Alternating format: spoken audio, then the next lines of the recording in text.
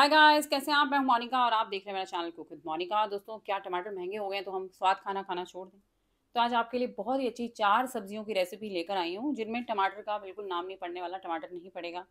अदरक भी नहीं डालने वाली क्योंकि वो भी महँगा हो रहा है। आप चाहें तो कुछ कुछ सब्जियों में अदरक मिला सकते हैं। बहुत ही आसान रेसिपीज़ हैं, फटाफट बनने वाली हैं और टेस्ट में बिल्कुल कॉम्प्रोमाइज़ नहीं होगा। मैं आपको यकीन दिलाती हूँ, एक बार आप ऐसे बनाएँगे ना, टमाटर के बिना ही बनाना शुरू कर देंगे। तो चलिए बनाना शुरू करते हैं। सबसे पहले अरबी की सब्ज़ी बना रहे हैं, हम बना रहे हैं कुरकुरी। अरबी तो अरबी लेनी है। अरबी को छील लीजिए और इस तरह से लंबाई में काटना है हमने। तो अरबी में थोड़ी लेस होती है तो कुछ लोगों को खारिश वगैरह होती है तो आप चाहें तो हाथ में सरसों का तेल लगा सकते हैं।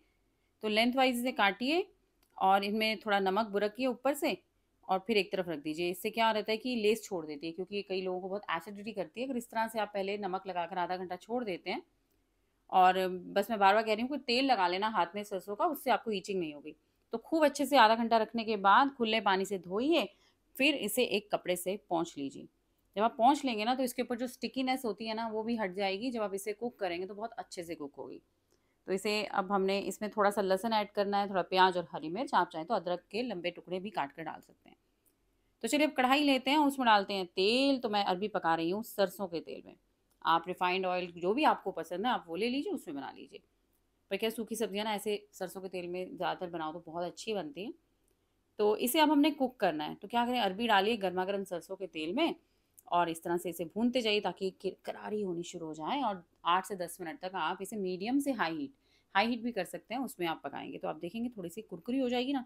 अब मैंने इसमें लहसन भी डाल दिया है, हरी मिर्च जो मैं आपको दिखाई थी ना और प्याज वो भी डाल दिया इसे मिक्स करते हैं और अब साथ ही इसमें हम अजवाइन मिलाने वाले हैं। अजवाइन से अरबी का स्वाद भी बढ़ता है और ये एसिडिटी बिल्कुल नहीं करती। है आप आराम से निश्चिंत होकर खाइए और टेस्ट बढ़ाने के लिए थोड़ा जीरा भी डाल देते हैं।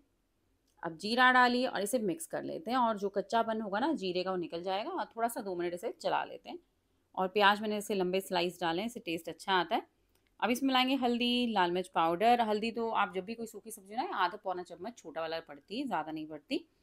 इसमें लाल मिर्च और नमक अपने टेस्ट के अकॉर्डिंग मिलाइए और बस मिक्स कीजिए। और अभी आप देख रहे हैं ना कुरकुरी अरबी बन रही है। कभी कहते हैं सब्ज़ी जलने लगती है। और देखिए, मैं भून रही थी ना गलने भी शुरू हो गई तो आपकी कढ़ाई में अगर जलने लग जाए ना सब्ज़ी इस तरीके से तो पानी का छींटा ज़रूर दीजिए। तो ऐसे छींटा देने का मतलब आधा कप के करीब है, उससे थोड़ा कम पानी आप डालिए और बार बार चेक करते रहा कीजिए, सब्ज़ी सूखी पका रहे हो कि वो जल तो नहीं रही। अगर जलने लगे, आपको लगे तले से चिपक रही है तो आप थोड़ा थोड़ा पानी का छींटा एक बड़ा बड़ा चम्मच करके डाल सकते हैं। तो ये देखिए, मैंने इसे अच्छे से पका लिया है और अगर आपको लगे कसर है तो फिर से ढक दीजिए, थोड़ा पानी का छींटा डाल दीजिए। ये देखिए, कितनी बढ़िया गल गई है ना, और कुरकुरी और बहुत अच्छी बनी है। जो पानी हमने डाला था, वो सूख गया। बस इसे चटपटा करने के लिए थोड़ा सा आमचूर पाउडर, आधा छोटा चम्मच, और हमने इसमें थोड़ा सा हमने मिलाया धनिया पाउडर, ताकि इसमें और कुरकुराहट आ जाए। तो एक छोटा चम्मच आप धनिया पाउडर डालिए, आधा छोटा चम्मच आमचूर पाउडर डालिए, और ये देखिए, बढ़िया सी कुरकुरी अरबी तैयार है, इसके साथ दाल हो, या यूँ भी आप दही, रायते के साथ या सादी रोटी के साथ खा लीजिए। देखिए, तोरी की सब्ज़ी होती है ना, वो भी बिना टमाटर के बहुत अच्छी पकती है। तो क्या करना है, तोरी लेनी है उसे छील लेना है और इसे काट लेना है और कढ़ाई लेनी है, कढ़ाई में डालना देसी घी। जब आप तोरी देसी घी में पकाते हैं ना तो ऐसे ही स्वाद बनती है। आप देसी घी नहीं तो सरसों का तेल या रिफाइंड ऑयल कोई भी ले सकते हैं, पर देसी घी मैं प्रेफर करती हूँ। जीरा डालिए, इससे पहले जीरा जल जाए, जैसे जलने लगा था। इसमें प्याज डालना है और हरी मिर्च, कुछ लहसन, अदरक मैंने कुछ नहीं डाला। ये प्याज और तोरी का जो ये बनता है ना, हरी मिर्च के साथ तीनों को मिलाकर जो सबसे स्वाद बनता है। मिक्स कीजिए, थोड़ी सी हरी मिर्च, थोड़ी सी हल्दी और थोड़ा सा हमें नमक मिलाना है, सादे हमारे इंडियन रसोई के सादे, साधारण मसाले, सभी चीज़ों को। हम जितना ज़्यादा मसाले डालते हैं ना तो एक्चुअल टेस्ट चला जाता है। मिक्स कीजिए, इसमें डाल दीजिए तोरी। बहुत आसान रेसिपी है, लेकिन आपको जितनी सिंपल आसान लग रही है ना, खाने में इतनी टेस्टी बनती है ना, आप बार बार ऐसे ही बनाएँगे, अगर ऐसे नहीं बनाते तो। मिक्स कीजिए, ढक दीजिए, तोरी पानी खूब छोड़ती है, अपने ही पानी में पकती रहेगी। और बार बार चेक कीजिए, अगर आपको लग रहा है जल रही है तो पानी डाल दीजिए। और फाइनली थर्टी मिनट्स में ये सब्ज़ी बन गई है। और ये अच्छे से गाढ़ी गाढ़ी सब्ज़ी बन गई है। लेकिन अगर आप कह रहे हैं टमाटर नहीं है तो रसेदार सब्ज़ी कैसे खाएँगे? तो आप इसका रसा भी बना सकते हैं। इसमें थोड़ा पानी डाल दीजिए। जितनी तरी आपको चाहिए, चावल के साथ खानी, रोटी के साथ खानी, आप पर डिपेंड है। पानी डालिए और फिर इसे बॉयल दिलाइए। एक दो मिनट अच्छे से बॉयल दिलाइए। खोलने लगेगी ना तो कि पानी हमने डाला है तो खोलाना ज़रूरी है। तो बस ये देखिए, बन गई है। इसे गर्मा गर्म सर्व कीजिए और मेरी तो ये फेवरेट सब्ज़ी है और मैं मोस्टली इसे इसी तरीके से बनाती हूँ। चलिए अब चलते हैं, हम बीन्स बनाते हैं फ्रेंच बीन्स तो फ्रेंच बीन्स को इतना छोटा छोटा काटो ना, उतनी टेस्टी बनती है मतलब काटने के अंदाज से इसका स्वाद बढ़, बदल जाता है. और जब भी खरीदें तो ताज़ी, एकदम सॉफ्ट वाली लेनी है, पकी भी नहीं लेनी, जितनी भी मेहनत कर लो, स्वाद नहीं बनेगी. तो सब्ज़ी अगर अच्छी खरीदी होगी फ्रेश खरीदी होगी तो अच्छी ही बनती. इस तरह से बारीक बारीक इसे काट लेते हैं और आलूओं को भी कुछ इसी तरीके से हम काटेंगे, बहुत बारीक नहीं और बहुत बड़े बड़े भी नहीं. तो देखिए, आलू भी कट गए और हमारी फ्रेंच बीन्स भी कट गई. आप चलिए लेते हैं कढ़ाई और कढ़ाई में डाल रहे हैं रिफाइंड ऑयल। अब चलिए इस, इस बार हम खाना पकाते हैं रिफाइंड में। देसी भी यूज़ कर लिया मस्टर्ड ऑयल भी यूज़ कर लिया। जीरा डालिए थोड़ा कूटा या कटा लहसन डालिए। मुझे काटने में आलस आता तो मैं कूट के ही डाल देती हूँ।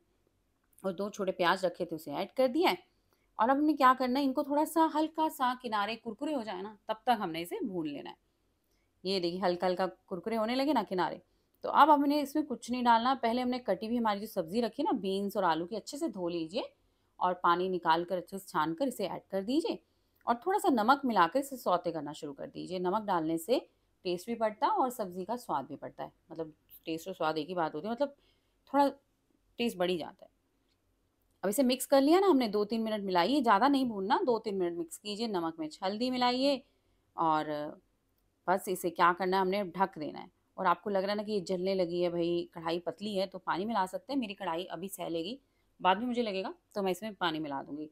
तो जितना हो सकता है बिना पानी के पकाइए, लेकिन सब्ज़ी जलने लगे तो पानी ज़रूर मिलाइए। देखिए, कच्ची है, देखने से एहसास हो रहा है, और सूख भी गई है तो मैं थोड़ा सा पानी एक बड़ा चम्मच के करीब मिलाती हूँ और ढक देती हूँ। अपनी भाफ में है, ये पकती रहेगी और गल जाएगी।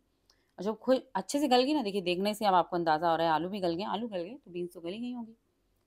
तो ये देखिए, हमारी सब्ज़ी ये भी रेडी हो गई खाने में बहुत अच्छी होने वाली फिनिशिंग टच देंगे। आधा छोटा चम्मच आमचूर पाउडर के साथ साथ ही इसमें थोड़ा सा धनिया पाउडर और गरम मसाला मिलाने वाली हूँ। जिससे क्या है ना, इसका स्वाद बढ़ जाएगा। बहुत ज़्यादा मत मिलाइए गरम मसाला। आपने देखा होगा मैंने बहुत थोड़ा मिलाया है, थोड़ी सब्ज़ी है। ढाई सौ ग्राम के करीब मैंने बीन्स ली थी और दो आलू मिलाए हैं। ये सब्ज़ी हमारी बहुत ही टेस्टी रेडी हो गई है। और आप हर बार ऐसे बनाएँगे ना तो आपको टमाटर की ज़रूरत लगेगी नहीं इस सब्ज़ी में। ये ये यूँ ही बहुत टेस्टी बनती है। चलिए अब बैंगन मसालेदार बनाते हैं। ये छोटे बैंगन है ना, इनको आप कितनी तरीके से बना सकते हैं? आज मैं आपको बिल्कुल लहसन प्याज रख के बिना वाले बड़े टेस्टी बिना टमाटर वाले बैंगन बता रही हूँ। और बैंगन लेना, इसको एक बार काट कर खोल कर ज़रूर देखें। कई बार ऊपर से अच्छा होता है, लेकिन अंदर कीड़ा लगा होता है। तो बस अच्छा साफ़ होना चाहिए। आलू भी इस तरह से लंबे काट लीजिए, नहीं तो छोटे गोल आलू होते हैं ना, उन्हें छील कर वो भी यूज़ कर सकते हैं। कढ़ाई में करिए तेल गर्म, मैंने लिया है सरसों का तेल। बैंगन सरसों के तेल के साथ बहुत अच्छे बनते हैं। और सारे बैंगन डाल दीजिए इसमें, आलू भी डाल दीजिए। और ऊपर से थोड़ा सा नमक भी डाल दीजिए। नमक डालकर इन्हें हम भूनने वाले हैं। और इन्हें तब तक भूनना है जब तक ये आलू जो है ना, थोड़े गोल्डनिश ना हो जाए, गोल्डन ब्राउन ना हो जाए। तो आप बीच बीच में चाहे तो ढक सकते हैं। मैं तो इसे ऐसे ही मीडियम से हाई हीट में जो है भून रही हूँ। तो देखिए थोड़े थोड़े पन्ने बनने लगे ना, आलू ब्राउन होने लगे हैं। तो अब क्या करते हैं, इसका हमने मसाला तैयार करना है। तो मसाला बहुत ही साधारण रहेगा।